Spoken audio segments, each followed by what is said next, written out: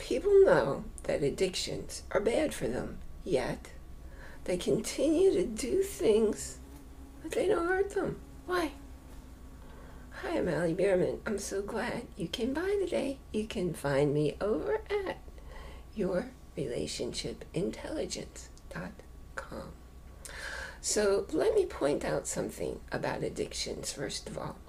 Over time, it takes more and more of whatever it is that one craves to reach a point where you feel satisfied.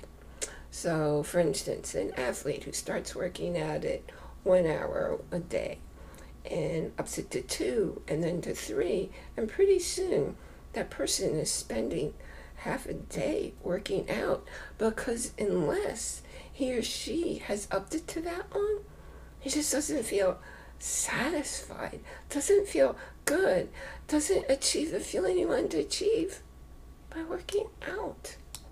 Now, it's interesting to note in today's world, in today's very insanely fast paced world, people brag about how busy they are and how little they sleep. By the way, that's probably the single most damaging behavior that you can live. Anyway, so a common addiction today. Are you ready for this? A common addiction today is being addicted to stress. Yes, stress. The kind you place on yourself by doing and doing and doing.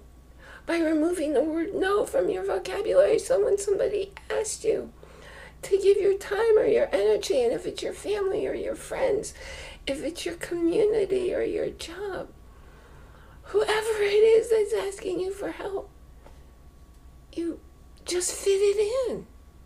Your schedule might be full, but there you go, adding that one more thing. You know why? because you need to be overwhelmed. You need to have your time filled. You need to be going bonkers so that you feel good. what? Did I say you feel good when you're feeling all overwhelmed? Well, you see, your brain is telling you you feel good when you're in that constant heightened state. And that's because you're addicted to the feeling you get when you're in that constant heightened state. Here's an example from my own life. Now, this is from decades ago, but it's something I see it all over the place today in people of all ages. I raised a couple of kids who are professionals, they're performers, and they were when they were kids. So we had just an insane schedule of lessons and rehearsals and performances, but that was on top of all the places I was volunteering in the schools, in the women's center, anybody, any place who asked for my help. Somehow I'd fit it in. I was what you'd have to call a professional volunteer, right? I just didn't know it was okay to say no when someone asks for help. Now that left me completely exhausted and totally overwhelmed until my youngest child left home at the age of 18. Now, here's where I see how that nonstop work feeds some people because it's happening out of awareness. Addictions usually happen out of awareness. For me, where I recognize it was when the school term ended, so every summer, and that whole chunk of not having to be in two different schools volunteering, and I might have had that time to, oh goodness, do something for myself that I wanted to do just for me. I felt lost. I felt jittery. I felt like some big part of me was missing. That's like, that's nuts, and that's what an addiction is. It's nuts because the thing that you're doing to feel good is not something that's good for you. So I recognize that behavior so easily now because I see it every place. I see it when I work as a psychotherapist, when I work as a kinesiologist. I see it just being a friend and seeing how hard it is to get together with somebody because their schedule is so full. Because their schedule is so full and they're complaining about how full their schedule is. And yet, who makes their schedules? They do. Now, even seemingly healthy behaviors become unhealthy behaviors when you can't stop doing them, when you need them to feel good. Most people fail to recognize that people often get addicted to emotions. It's the emotions that are driving you to do these things. When you feel defined by your behaviors to stay busy, to be there for everybody, to meet everybody else's little needs and big needs. Yo, you are blatantly addicted to your emotions and to the emotion of stress and feeling overwhelmed. Do you know anyone who lives in a constant state of drama? Bet you don't have to think too hard for that one. Not in this day and age. Do you know anyone who constantly gets sick or injured? How about anyone who spews anger all the time? Who do you know who lives a victim identity, blaming everybody else for their circumstances and how bad they feel? You see, your body has neuropeptides. Those are chemicals that let you feel good or feel bad. Cells have docking points, receptors for those peptides. Now, when someone who's addicted to being sick, and they may think that the only way they're going to get attention is by being sick or hurt. So, someone like that has a plethora of feel bad neuropeptides going in and docking on those cells. Now, here's the thing about cells they're not static, they divide. And when they divide, they reproduce according to the DNA that's in operation at that time. And a quick aside, you know you're in control of what genes switch on and off. Not all of them, but a whole lot of them.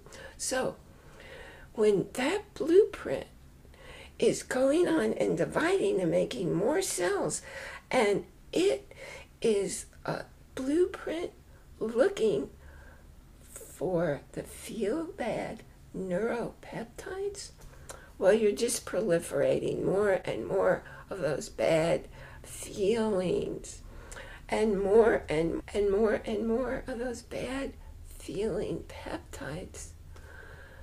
It increases over time because the cells continue to divide, to become more and more. And that's why addictions keep people stuck.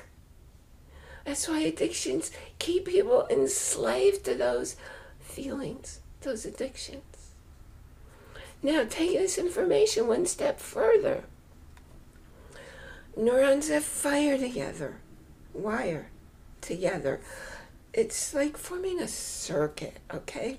So, experiences that are related to those bad feelings,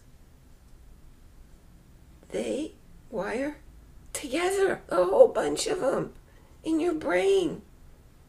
So ending an addiction means you got to do something about that whole network of the addictive behavior pattern, feelings, chemicals that are running in your body. When you feel stuck in your life, realize some sort of neural network is keeping you stuck. You say you don't like the way you feel, but you continue to do the same behaviors over and over and over.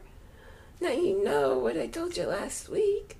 Einstein called doing the same thing over and over, expecting different results.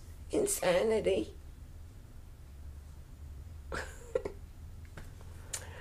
so, if you're going to continue doing the same action and you're not going to get different results, what can you do instead?